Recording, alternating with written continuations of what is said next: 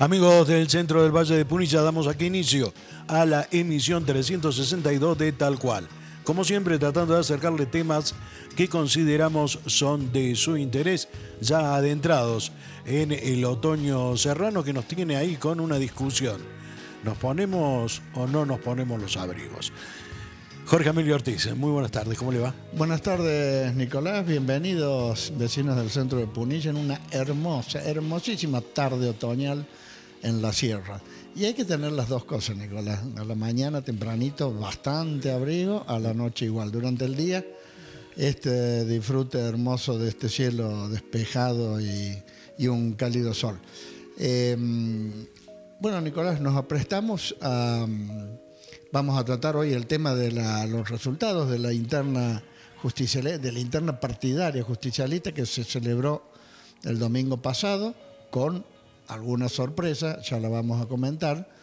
Eh, pero antes de entrar en el tema local, eh, se cumple un nuevo homenaje, los 40 años del hecho del episodio de Malvinas. Y bueno, estos héroes de Malvinas, estos hombres de Malvinas todavía siguen siendo en alguna manera postergados, con dos tipos de postergaciones no el reconocimiento de la sociedad y de los organismos, aunque estos últimos años podría decirse que sí, eh, que, han empezado a tener un reconocimiento, pero hay otra camada, Nicolás, de, soldados que estuvieron en el continente, pero estuvieron ahí al, borde no fueron embarcados porque, porque la, o porque la guerra no duró más, o porque terminó antes, o porque la estrategia no indicaba, pero eran soldados que estaban en la zona de conflicto. Bueno, estos no están reconocidos. Eh, pasa lo mismo con unas enfermeras que a último momento se les ha empezado también a, reconocer su mérito de aquella gesta heroica. ¿Por qué será? Eh, no, no, no, no, entiendo el principio por qué se trató de, de borrar del episodio de Malvinas. A veces digo, ¿será porque perdimos? La guerra se gana o se pierde cuál es el, cuál es el problema. Ojalá hubiésemos ganado, no se pudo ganar. ¿Será por esto? ¿O, cómo afecta desde lo político? Eso es lo que no alcanzo a entender, a darme cuenta eh, por qué no se reivindica tal cual como fue. Ya sé, me van a decir, bueno, la condujo una dictadura militar. Sí, indudablemente esto, una dictadura aberrante encima y que sin dudas la, generó por una motivación política, querían recuperar eh, un, ascendente, un ascendente social que nunca tuvieron, pero querían recuperar tal vez con proyectos políticos de, mayor duración en el poder y, bueno, terminó como terminó. Igualmente los soldados no tienen nada que ver con esta historia. Los soldados eh, fueron al frente, eh, como el que más, como, mucho más que muchos generales, sin duda. Siempre se recuerda que el general Menéndez lustró las botas para ir a, la foto de la rendición. Bueno, estas cosas que quedan eh, pendientes siempre en la sociedad, Nicolás, pero desde aquí, humildemente, tratamos de rendirle siempre este homenaje y siempre lo recordamos. No pudimos en esta ocasión eh, invitar a algún excombatiente, pero bueno, lo hemos hecho a lo largo de los años. Así es, eh, Jorge, y es toda una realidad, más allá de los resultados de aquella eh, confrontación bélica, hay que reconocer el valor de aquellos jóvenes, casi niños. estamos hablando de hombres de 18 años, nada más, con muy poca formación, que fueron a defender una decisión política en su momento. Y hay que reivindicarlos. Y esto se ha comenzado a hacer y bastante bien en los últimos años. En las próximas horas, precisamente en Huerta Grande, la vigilia comenzará en la madrugada del día de mañana y se extenderá hasta finalizado el acto. En la ciudad de La Falda está previsto el acto también y lo mismo ocurrirá en prácticamente todos los municipios y comunas del país. Eh, nuestro agradecimiento a aquellos hombres que se jugaron la vida eh, por defender la celeste blanca. Sí, quiero agregar, Nicolás, porque me quedé pensando eh, en lo que dije, estoy seguro que ningún soldado se hubiese rendido.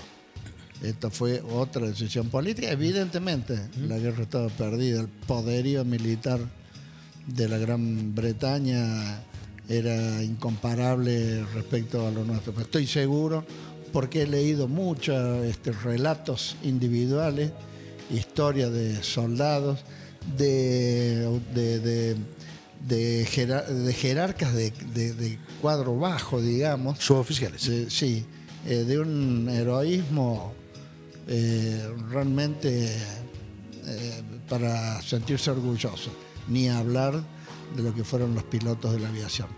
Pero bueno, esto, esto es lo que pasó y el país tiene que incorporarlo a su historia. un ejércitos que nunca habían sido vencidos, ¿no? Así es la historia de la conquista de la libertad y de la independencia. Bien, dejamos de lado el plano histórico, nos metemos en la historia reciente, la que acaece en forma permanente y en este caso vamos a estar hablando en la jornada de hoy de la interna del Partido Justicialista que se dirimió el domingo próximo pasado. ¿Para usted con sorpresas, como dije yo, Nicolás? O... Hay sorpresas en, diferentes ámbitos. a ver, vamos a tratar de analizar desde el punto de vista que lo hacemos desde, desde nuestro punto de observación. En definitiva, el eh, peronismo de Punilla, eh, liderado por Carlos Caserio y en particular por quien venía presidiendo el departamento, Mariana Caserio, eh, obtienen el, triunfo con 7.870 sufragios, representando esto el 53%.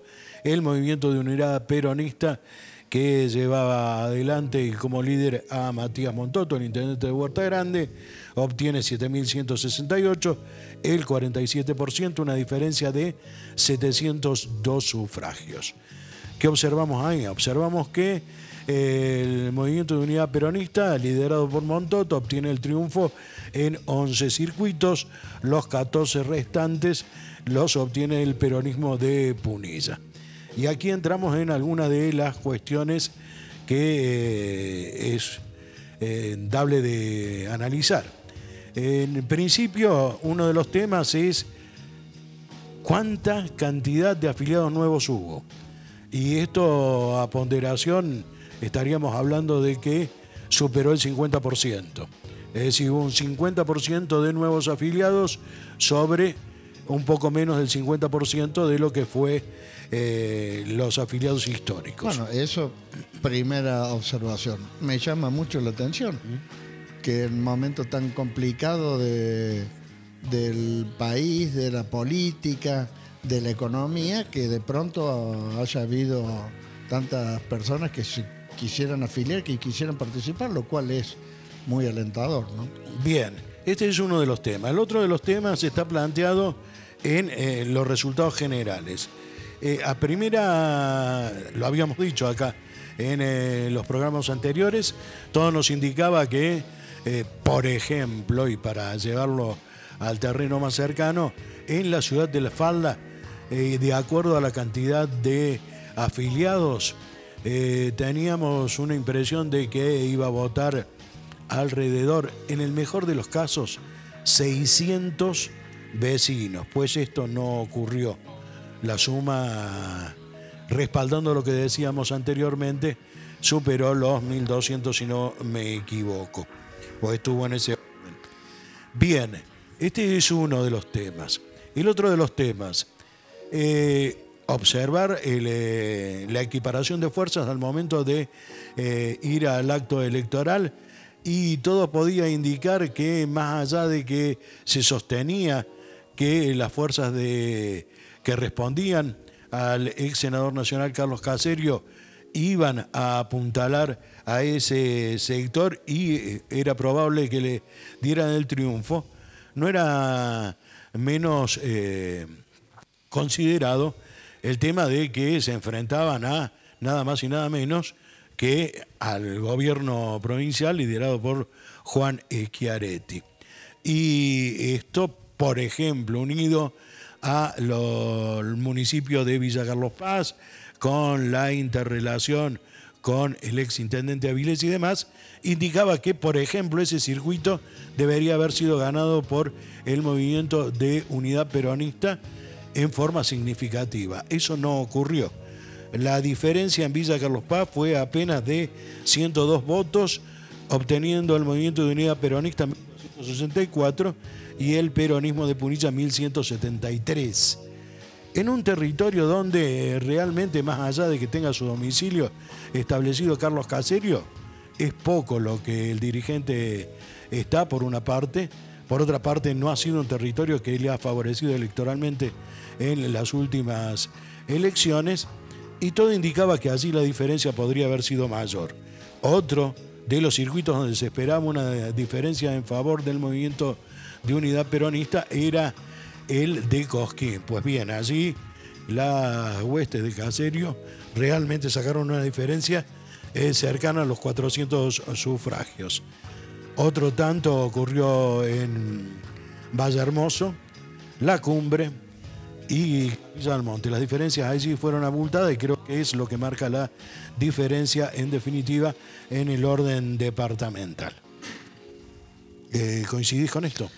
Sí, indudablemente, indudablemente la, realidad ha determinado esto, ¿no? Previamente se decía, no, este, eh, Caserio en Carlos Paz y en Cosquín va a ganar con una gran diferencia. Mm. También se decía, se suponía que Miguel Maldonado ganaría la falda, se descontaba que Capilla del Monte y la Cumbre iba a ganar ese sector.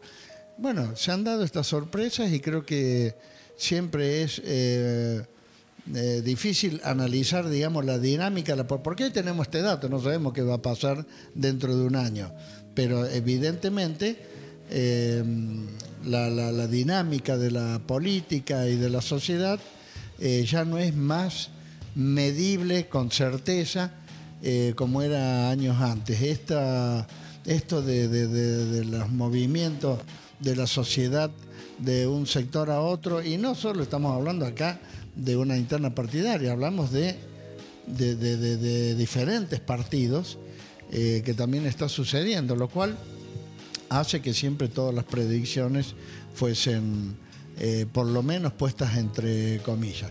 Eh, yo días antes de la elección hablaba con un dirigente del sector de Lucas Vélez y estaba muy seguro de que iban a ganar. Y yo le decía, mirá, eh, del otro lado este, hay muchos años de, militancia, de trabajo, mucho conocimiento del padrón de afiliados.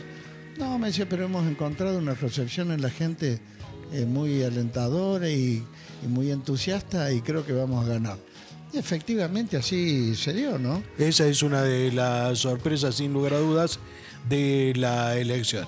Pero vamos a analizarlo precisamente junto al protagonista, Lucas Vélez, en el próximo bloque. Vamos a la pausa.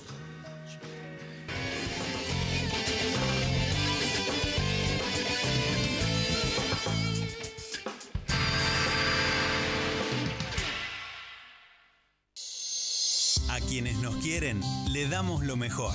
A nuestras mascotas, Rey Can, Rey Cat, con un 21% de proteínas. Y Has Premium, lo que lo convierte en un alimento rico y nutritivo, brindándole una alimentación saludable y una vida más activa. Ventas por mayor, en la falda, en Ingeniero Copelo 534. Rey Can, Rey Cat y Has Premium. Ya llegaron al centro de Punilla. Amelio Ortiz. Motos, nuevos y usados.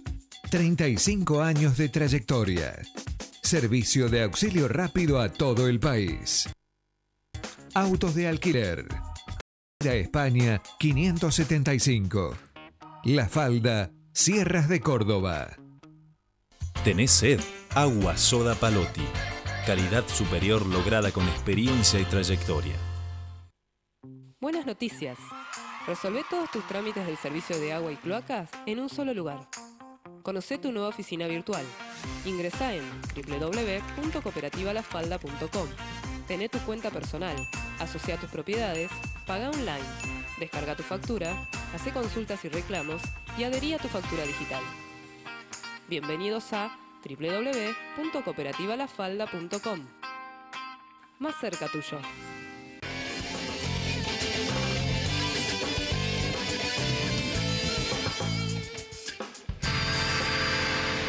Bien, hablábamos de la sorpresa determinada en esta elección interna en la ciudad de La Falda.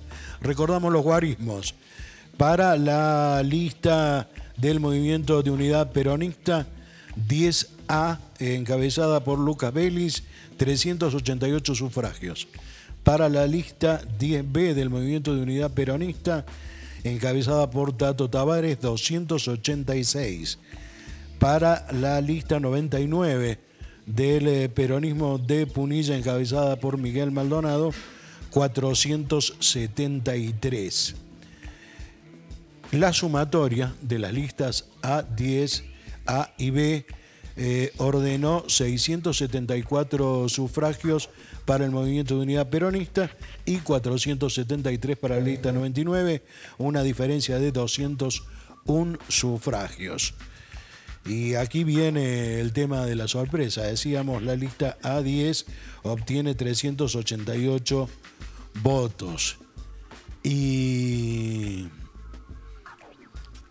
en la discusión eh, ciudadana, eh, Lucas Belis Palú comenzó a ser eh, considerado y tomado en cuenta no hace mucho más de seis meses y más allá de algún impacto serio en lo político, hará algunos tres meses y fracción, que precisamente tratamos en este programa, eh, no hubo otra actividad que, más allá de la que se generó por la propia interna y la de la campaña pertinente, que eh, pusiera en consideración la posibilidad cierta y concreta de que se alzara con el triunfo dentro del movimiento de unidad peronista. Pero eso ocurrió y eso indica un fenómeno político. Cuando hablamos de fenómeno político hablamos de aquel que irrumpe, que aparece eh, y no estaba considerado. Hay que decir también que esto es instalarse en el plano político y que es solo el comienzo. De ahora en más hay que aglutinar poder, hay que mantenerse. Y esto es realmente lo difícil. Pero vamos en la búsqueda del fenómeno y tratar de que desde su punto de vista nos comente cómo es que se instaló y cómo llega a este logro. Lucas, muy buenas tardes. ¿Qué tal? Buenas tardes. Buenas tardes, Joaquín. Vamos con eso felicitaciones, ¿no? Por cierto, estamos. Capaz que, que ustedes están seguros, que está en la batalla, siempre dicen, no, vamos bien, vamos a ganar. La mirada desde afuera era simplemente esta. Eh, no, sin, por supuesto, sin subestimar, pero ha sido una sorpresa. ¿No te molesta que lo planteemos así? No, no, no, para nada. Eh, o, sea, te, ¿considerás que, que, que sos un, fenómeno, un emergente eh, en la política local? Eh, y bueno, aquí en adelante es, tu proyección, ¿no? Exactamente. ¿Cómo se logra eso? Esto es, recién un comienzo, como decía Nicolás, eh, hace 6, 7 meses que, estamos haciendo política acá en La Falda, así que sí, realmente estoy no sorprendido de, mi parte porque yo nos teníamos mucha fe en el, grupo, eh, en el equipo de trabajo que teníamos. Yo lo comenté acá hace un, par de, no sé si de semanas, que, que éramos, que nos da mucha esperanza en la aceptación de la gente cuando la queremos afiliar. Que ese fue también, el, también otro fenómeno de la cantidad de afiliaciones que hubo en la elección. Así que bueno, muy contento y bueno, vos me preguntás cómo se logra, es con mucho trabajo, mucho recorrido de barrios y mucha empatía con, con los vecinos principalmente. ¿Cómo observas este hecho concreto de un una importante cantidad de afiliados que, de, acuerdo a la proyección que nosotros tenemos, debe haber superado el 50%. Sí, sí, bueno, era uno, era, ese, era el gran tema de la cantidad de, gente que realmente quería participar. Eh, también se demostró en, el día de la elección que eh, hubo mucha demora por, una, una, manera de organizar que yo no estuve de acuerdo porque había muy pocas urnas. Mm.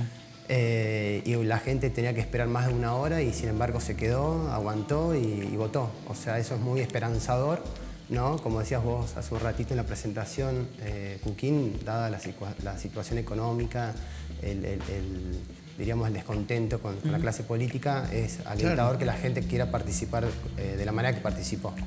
Bien, precisamente esa mm, dificultad que hubo para emitir llevó a que un, porcentaje eh, se fuera sin emitir su sufragio. Eh, mm. ¿Crees que eso le favoreció a ustedes y, o desfavoreció al eh, sector del peronismo de Punilla? Mira, eh, yo vi mucha gente que se iba eh, por, el tema de la, demora. De la demora, sí. Sí, y bueno, se iban con las fichas filatorias. No, no sabría decirte si, si eran fichas nuestras o. porque en el volumen, viste, que no, no, no retenes todas las caras de, los vecinos. Pero eh, bueno, puede haber sido parejo para todos, ¿no? No, no sabría decirte esa respuesta. A quién favorecería, pero yo creo que por la cantidad que hubo. Eh, bueno, teníamos expectativas que, sean nuestros y se iban sin votar. Entonces te agarraba una desesperación en el sentido de que la gente se molesta en ir a votar y no lo puede hacer. Entonces, bueno, hubo un descontento, pero bueno, después eh, surgió y siguió todo normalmente. recordemos que se, estiró el horario de cierre, sí, sí. ¿no? Sí, muchísimo. Se, estiró mucho.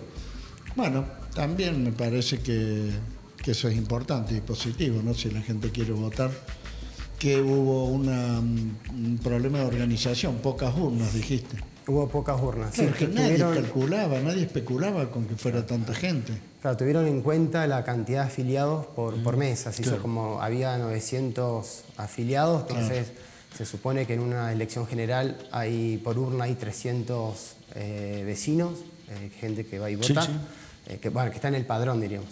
Entonces 900 dividido 3 eran, eran tres urnas. Eh, perdón, 900 dividido 300 dan tres urnas. Y entonces hubo tres urnas.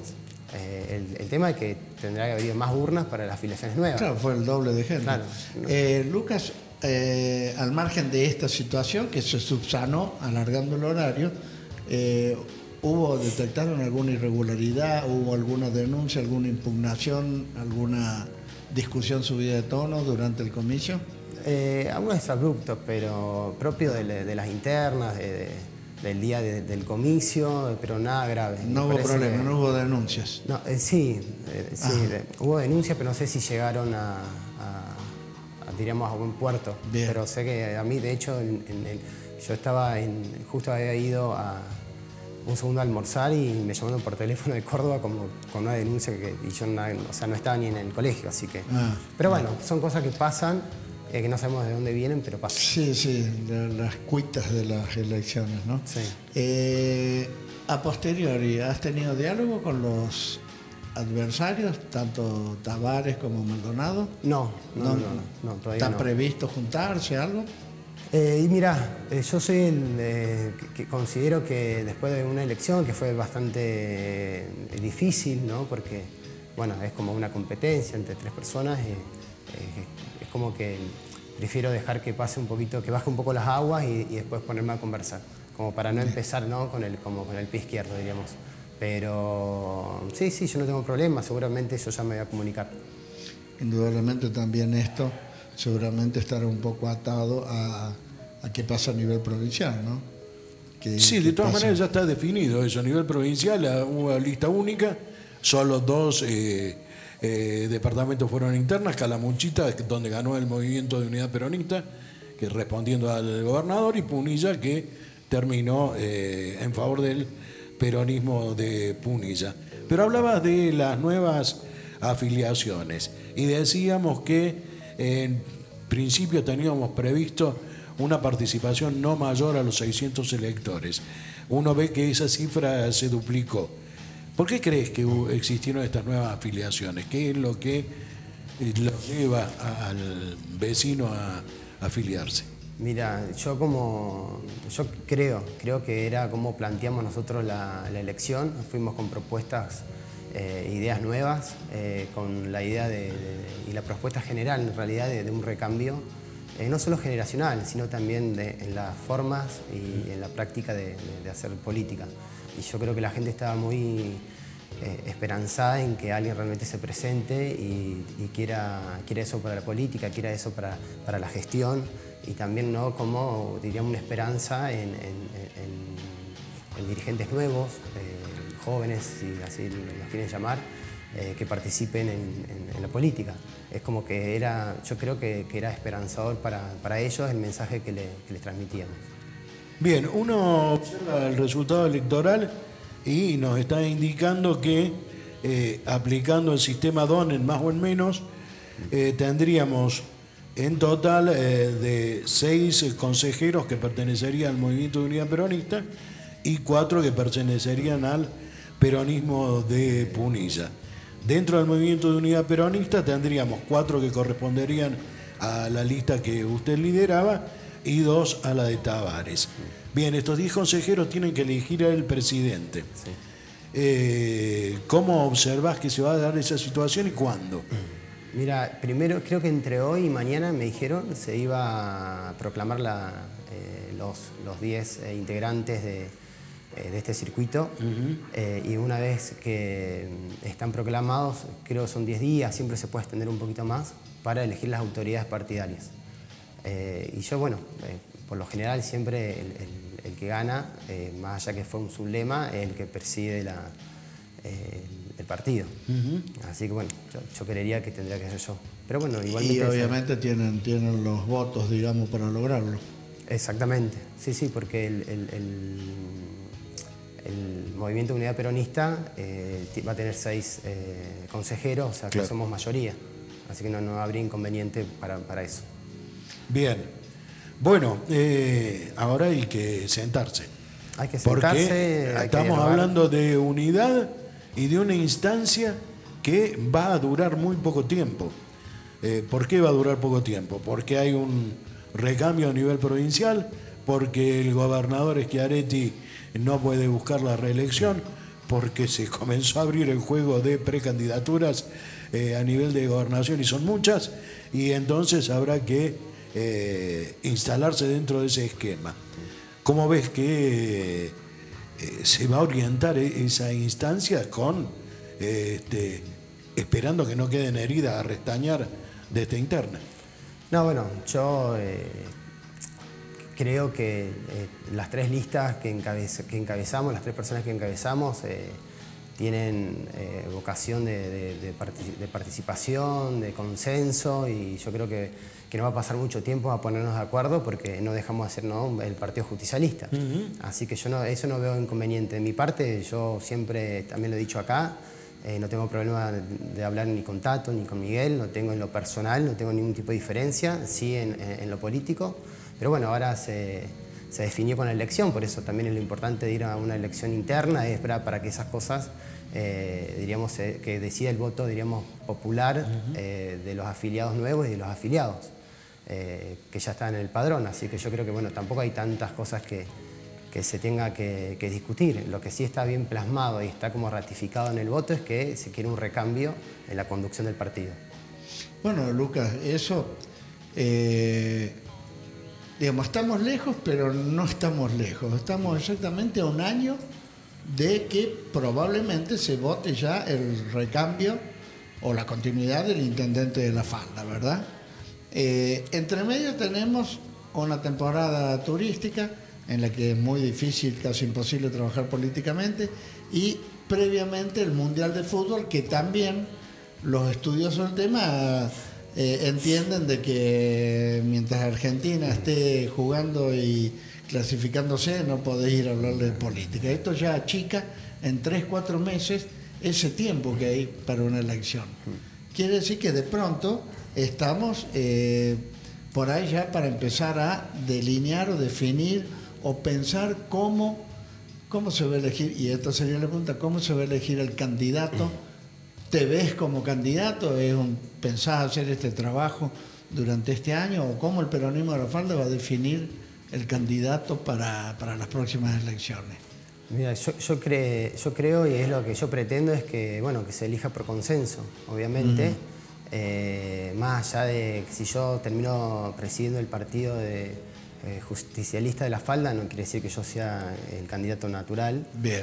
Eh, no, no, eso no lo creo en absoluto. Esto es una cosa partidaria que mm, más allá de todo es una conducción del partido y de políticas que se pueden implementar acá en la ciudad y después otra cosa es la candidatura a una intendencia. Yo creo en el consenso, en, el diálogo con, otros dirigentes y referentes del partido, no solo de, de los que encabezamos esta lista, sino también de todos los integrantes del partido. Eh, es medio próximo, pero bueno, yo creo que tampoco nos podemos tomar como decís vos, no hay mucho tiempo, yo creo que en los próximos meses ya se va a ir definiendo. próximos meses que en mi criterio diría que no superan los 160 días. Es más, me inclinaría más por los 120 días. y digo esto ¿por qué?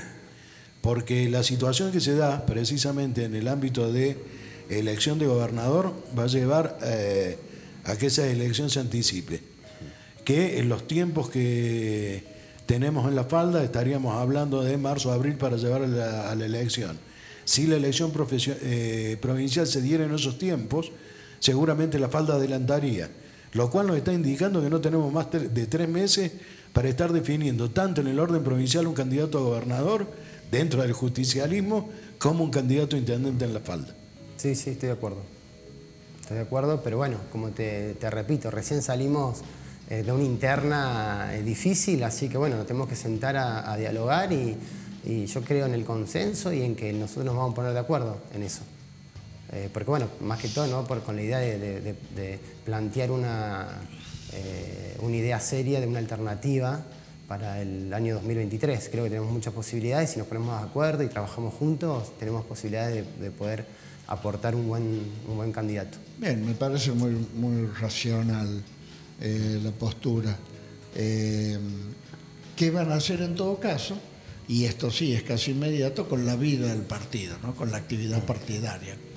¿Cómo se van a mostrar ante la sociedad? Porque eh, aquí lo hemos dicho y todos los dirigentes lo reconocen. Bueno, al final todos los partidos, no solo el justicialismo eh, abren sus puertas para las elecciones, después se plancha y no vuelven a ver al, afiliado hasta la próxima elección.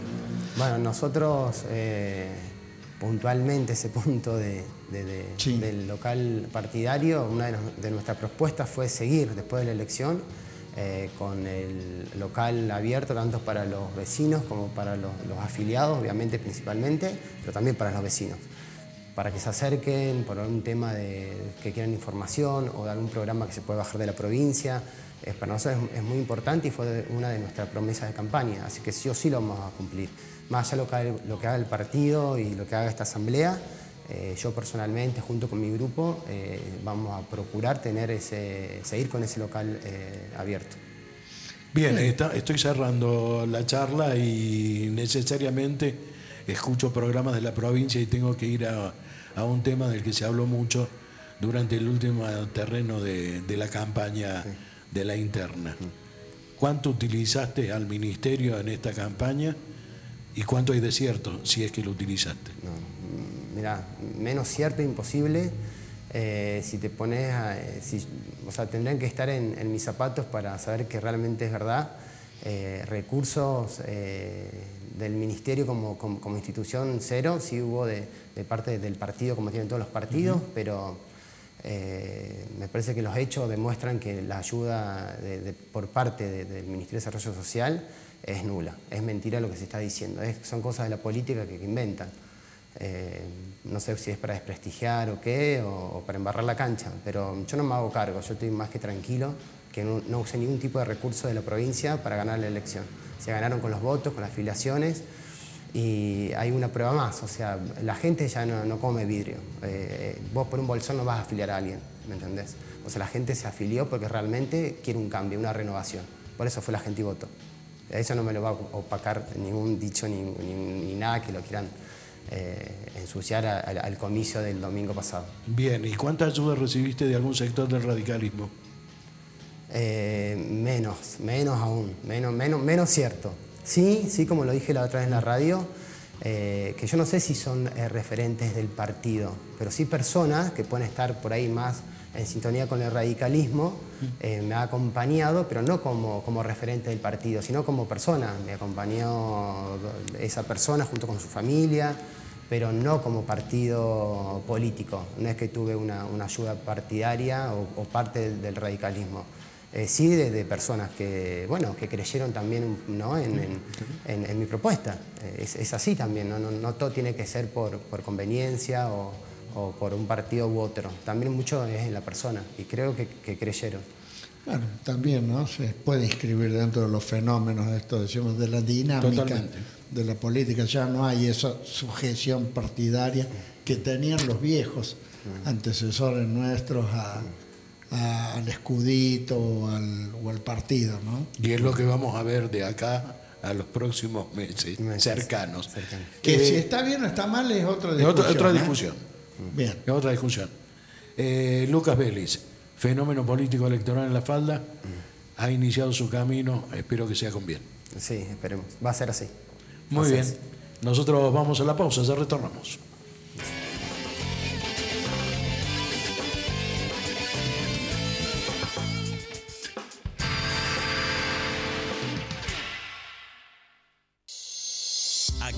Quieren, le damos lo mejor.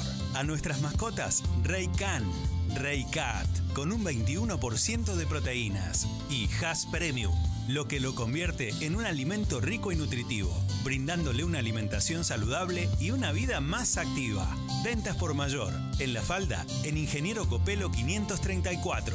Rey Can, Rey Cat y Has Premium ya llegaron al centro de Punilla. Amelio Ortiz. Motos, nuevos y usados. 35 años de trayectoria Servicio de auxilio rápido a todo el país. Autos de alquiler. A España 575. La Falda, Sierras de Córdoba. ¿Tenés sed? Agua Soda Palotti. Calidad superior lograda con experiencia y trayectoria. Noticias. Resolve todos tus trámites del servicio de agua y cloacas en un solo lugar. Conoce tu nueva oficina virtual. Ingresa en www.cooperativalafalda.com. Tené tu cuenta personal, asocia tus propiedades, paga online, descarga tu factura, hace consultas y reclamos y adherí a tu factura digital. Bienvenidos a www.cooperativalafalda.com. Más cerca tuyo.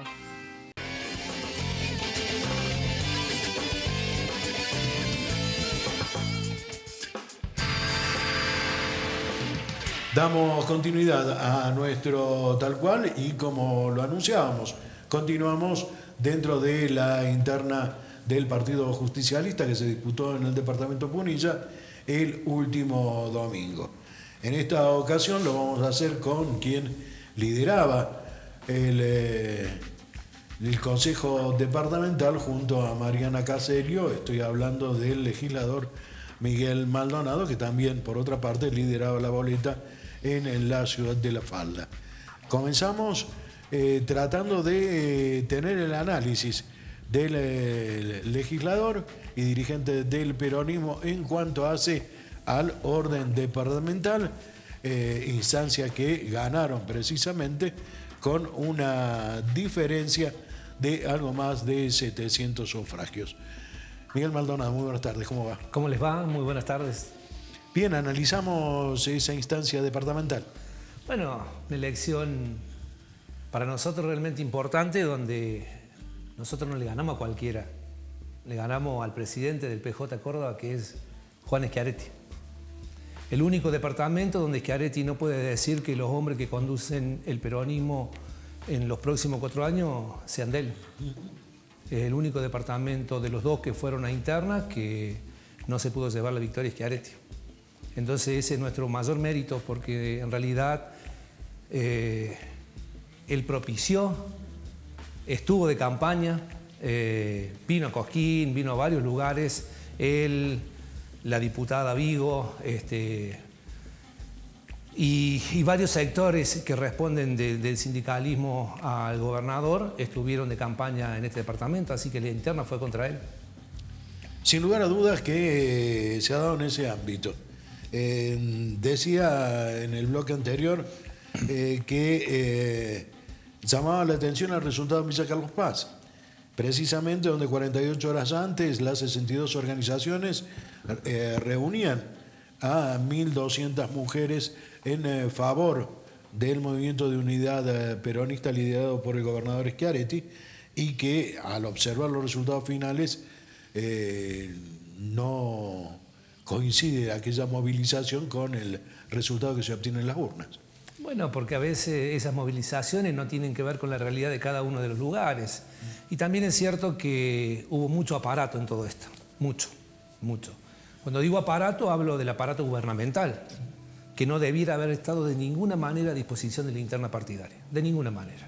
Esto creo que es una falta de respeto a los compañeros, a los dirigentes que de una u otra manera propician o quieren de alguna manera conducir los destinos del peronismo. Y cuando se aparatea de esta forma, eh, realmente es escandaloso, bochornoso. ¿El, ¿El aparato fue solo para el nivel departamental o se no toma en algunas ciudades como en esta? No, en varios lugares, en varios lugares. Jardino, La Falda, Cosquín, Carlos Paz, en varios lugares. Mucho, mucho, mucho aparato. Programas que debieron estar destinados al común de la gente y normalmente debe ser así y esta vez estuvieron eh, dirigidos hacia un sector este, de alguna de las listas que participaban en la interna. Más, creemos que el Banco de la Gente se ha quedado casi sin recursos para lo que resta del año y el Ministerio de Desarrollo Social seguramente va a tener que pedir una ampliación de partida presupuestaria en lo que resta del año. Mucho, mucho, mucho. Es mucho lo que se invirtió en la interna, entonces, muchísimo, de ustedes. Muchísimo, muchísimo. Si no, no, no podrían haber pasado algunas cosas que pasaron, de ninguna manera, Nicolás. Usted es un hombre que tiene muchos años en esto, usted es Joaquín también. Nosotros hace más de 25 años que no tenemos interna. La última interna que tuvimos fue antes de que llegáramos al gobierno, al primer gobierno de José Manuel de la Sota. Pero lo que me está diciendo es una denuncia muy fuerte. Estamos hablando de que en esta interna se utilizaron los dineros de los ciudadanos cordobeses salga a la calle, yo le, sugiero, le sugiero, salga a la calle y pregúntele a algunos cuantos vecinos de cuánto hablamos. Vaya, dese una vuelta por, por alguno, por cualquiera de los barrios de la ciudad. Miguel, ¿eso se va a traducir en algún tipo de denuncia ante la justicia? ¿O, es un, un análisis que, que, vamos a aclarar, ¿no? Siempre siempre alguien denuncia del aparato al otro y así en todas las elecciones, en todos los partidos. Nosotros, Cuquín, no, no haremos denuncia de esto. Pediremos los informes correspondientes en el ámbito que correspondan, eh, lo haremos en las próximas horas seguramente y bueno, quedará la respuesta a criterio de quien la dé. Pero tenemos la certeza de que esto ha sido de esta manera y si no es simple, salgamos en cada uno de los pueblos y le preguntemos a la gente. Le preguntemos a la gente. Esto incidió en esta situación que analizamos previo a la elección, decíamos en la falda, en el mejor de los casos vamos a estar hablando de 600 electores y en realidad se más que duplicó la cifra. No, nosotros, es más, previmos que yo tenía una consideración de que podía ser un número aún más alto que ese, lo que pasa es que primero la elección se demoró burocráticamente, esto la verdad que en, en la era de la tecnología que tengamos que escribir el nombre, la dirección y, el número de documento con lápiz, la verdad que es, una aberración, una falta de respeto al elector. Ha habido electores el domingo que tardaron dos horas, dos horas y media para ir a votar. Otros que se fueron. Por supuesto, claro que se fueron. Había mucha gente que tenía que ir a trabajar. Mire, eh, entre 17.50 a votar, terminé 20.45. 20.45 salí de votar a esa, altura ya todo cansado, la gente de la mesa cansado, por supuesto. Y era lógico, cuando vos tenés que escribir 400 nombres, este, es una locura. una locura, una locura. La verdad que nos falta respeto, nos falta respeto. Y no entendemos por qué se hizo de esta manera. Bueno, y en, ese plano hubo mucha gente que se fue. Eh, ¿Te perjudicó como espacio o, no? yo, creo que, yo creo que sí, que fuimos los más perjudicados en eso. Sin duda que esta, esta situación debe haber perjudicado a los tres, pero creo que en mayor medida nosotros. Nosotros empezamos un trabajo fuerte eh, después del almuerzo y, y, bueno, cuando muchísima gente nos dijo, che, la verdad que es una locura esto. Pero no solamente eso de la demora, sino lo que pasaba en la puerta de la escuela. La puerta de la escuela parece que hubiésemos estado en la entrada de la cancha. Parecía una cosa, era una cosa terrible, terrible. Y cuando finalizó fue aún más grave porque me parece que la falta de respeto en esto es intolerable. Es intolerable. Porque en definitiva competimos para conducir los destinos del peronismo. Y acá, acá, Miguel Maldonado ganó en las tres mesas. Cierto. Entonces, y después lo que se arrogan a alguna representación, se olvidan de los otros. Porque en definitiva esto se repartió en tres. Sí. Y la justicia electoral seguramente determinará en función de los tres, de las tres listas que participamos. Entonces nadie puede arrogarse ni festejo ni nada hasta tanto no esté el resultado y la elección de esas autoridades. Entonces hubo cánticos agraviantes para, para mí, para la otra lista, para familiares nuestros. Bueno, todas estas cosas pasaron el domingo. Entre, durante el día y luego, de, luego que terminó eh, la votación, digamos. ¿no? Mientras se sucedía el proceso de, de, recuento de votos y todo esto, y un poco más tarde también. Un poco bueno, y tratemos, bueno, de, pero... tratemos de identificar. Usted me dice, cánticos en contra mío de la otra lista. ¿Qué otra lista? La de Tavares. La, ah. la lista encabezada por Tavares. Está bien. Bueno, indudablemente, Nicolás eh, y Miguel, si se llega a una instancia de una elección partidaria y se llega con tres listas, es porque realmente viene, viene, viene fracturado, viene eh, con, distintas este, propuestas o, con, eh, con criterios distintos sobre los dirigentes que se proponen. Si no, Miguel no podría. Me, extraña porque usted es un hombre de diálogo que hace, ha, siempre sabido cerrar, digamos, estas Pero ¿sabe qué pasa? Que nosotros somos dirigentes y hemos forjado un camino de dirigencia en el peronismo. Otros son empleados. Entonces ahí hay una gran diferencia. Ahí, ahí hay una gran diferencia. Entonces, cuando vos sos empleado y te dan una chequera, eh, parece que te lleva puesto el mundo. Y a veces hay que tener un dejo de humildad. A veces hay que tener un dejo de humildad. Mire, yo he participado en muchas elecciones. El día que le gané a Ardú la elección de legislador, a los 20 minutos que terminamos de contar los votos, me llamó y me felicitó. Esto es lo que sucede en la democracia. Esto es lo que debe suceder en la democracia. La elección se juega y la gente elige la gente elige. Después lo que pasa entre los 10 será otra historia, otra película. Pero no esto de, de lo que pasó el domingo, que hasta me parece en serio bochornoso, una falta de respeto en la puerta de la escuela, una escuela céntrica donde todo el mundo pasa y ve lo que sucedía. Donde toda la gente pasó y vio lo que sucedía. Bueno, pero esto está, bien, yo coincido también, ¿no? Que bochornoso. Ahora, este es un problema del peronismo, Miguel o de los dirigentes, o que, a ver cómo podemos dilucidar esto. A ver, no es un problema del peronismo, es un problema de los que conducen cada uno de los grupos. Bueno. Este, esta es la diferencia.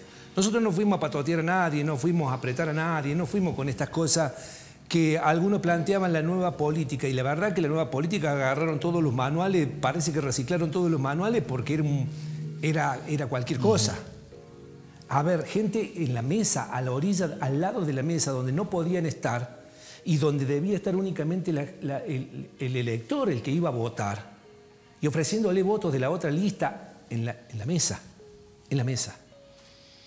En la mesa. Todas estas cosas pasaron el domingo. Y usted sabe que yo no le voy a venir a Macanea, no estuve todo el día en la escuela, fui un rato, tuve el tiempo que fui a votar y nada más.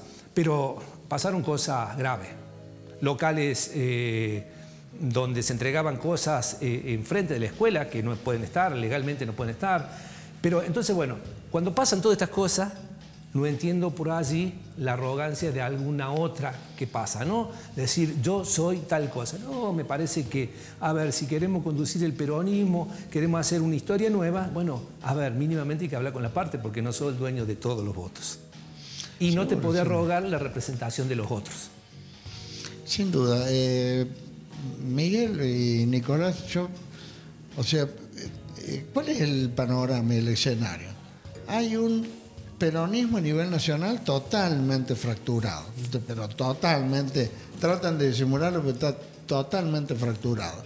En la provincia no sé qué irá a pasar. De acá, bueno, hoy Schiaretti es, es el, el, presidente del partido, teóricamente solo en dos departamentos tuvo interna, o sea, llegamos a la falda. También me encuentro con una fractura, Miguel. Bueno, Esto, pero- pensando en el 2023, es muy malo, ¿no? Bueno, pero también, a ver, no podemos olvidarnos que Chiaretti el viernes pasado o gente de, de su entorno anunció un acuerdo con el macrismo. Esto lo dije varias veces en este programa. Muchas Sí, sí, veces. lo después lo niegan, pero. Y bueno, pero. El rumor está dando A ver, vuelta. el rumor está dando vuelta. Y a ver, eh, eh, en este mismo programa dije varias veces que había un sector del PRO que estaba jugando linterna del peronismo. Y de hecho quedó evidenciado el domingo. Quedó evidenciado el domingo. Y, Recién le preguntamos a Belis, lo niega terminantemente. bueno, ¿no? capaz que él no los conoce, pero uno que tiene varios años en esta historia sabe quién es quién en esto y sabe quiénes son algunas referencias que eh, fueron a buscar gente en nombre de. A ver, no es tan complicado. Acá nos conocemos todos. Nos conocemos todos. Pero bueno, Usted- eso sí, sí. Perdón, lo que está diciendo es que hubo un sector del PRO que acompañó a la lista 10 y se habla de un sector del radicalismo donde Belis acaba de afirmar que una familia al menos lo habría acompañado del radicalismo. Bueno, eh, Esto es así. me evito los comentarios. Eh, Miguel, eh, un hombre con experiencia en estas cosas, o sea, eh, queda, queda clarísimo. Pero bueno, insisto con lo anterior. ¿Está en el sector que, que, que representás buscar la unidad o ver el, el futuro que decíamos es lejano, pero no es lejano, ¿no? Dentro de un mes acá se está votando en la falda. Bueno, veremos. Nosotros siempre hemos trabajado desde, desde el consenso, hemos tenido apertura para esto. Y si no, como siempre digo, no hubiésemos sacado los votos que sacamos de ninguna manera. Aún cuando, cuando ganamos con Cetopal no sacamos esa cantidad de votos ni por casualidad, ni por casualidad. Entonces me parece que tampoco hay mucho en el imaginario para, eh, para jugar hacia adelante. Me parece que se debe construir desde la humildad, desde la capacidad y no desde el amontonamiento. No desde el amontonamiento. Pero bueno, esto es algo que, seguramente el transcurrir de los días este, nos dirá cuál es el norte de, de toda esta cuestión. Y después hay otra gran cosa que no podremos soslayar de ninguna manera ninguno de nosotros, que es lo que vaya a hacer Schiaretti. Justamente el norte del que habla pasa por la definición de quién va a ser el sustituto eh, a nivel de candidatos del gobernador de la provincia. Y en este terreno yo no puedo desconocer ni la cintura ni la audacia política de Carlos Caserio y de Miguel Maldonado. De manera tal que los próximos 60 días nos estarán indicando dónde van a estar parados y cuál va a ser el posicionamiento que van a tener. Seguramente así será, Nicolás. Seguiremos trabajando. Nosotros trabajamos siempre por cada uno de los pueblos en los que somos parte, por el, territorio en el que somos parte, y Carlos tiene una gran responsabilidad con el tema provincial, que seguramente nos encontrará trabajando espalda contra espalda en búsqueda de volver a posicionar a nuestros, a nuestros referentes, a nuestros dirigentes, a nuestros intendentes, a nuestros jefes comunales en cada uno de los departamentos donde tenemos referencia y bueno, veremos cómo acomodamos toda esta cuestión, pero tiene que ver fundamentalmente en la decisión del presidente del partido de la provincia en qué, en qué va a ser. Ya tuvimos un desencuentro hace dos años atrás, o un poco más, con la elección de presidente, donde no nos daba lo mismo elegir cualquier presidente. A nosotros no nos dio lo mismo y elegimos un presidente peronista, con virtudes, con defectos, mejor o, peor eh, programa de gobierno, pero nosotros nos mantuvimos en ese lado. Y no como esto que, quedó evidenciado el domingo, donde una mezcla absolutamente de todo. Dirigentes del radicalismo, dirigentes del PRO, vueltos a las filas del peronismo. Bueno, esto es lo que pasó el domingo, que por así tiene una, una comunión permanente con este mensaje no tan claro que está dando Schiaretti por estos días. Si hablamos de sorpresas electorales, no podemos dejar de lado en esta interna el resultado de Rodolfo Milán Hijo en Cosquín.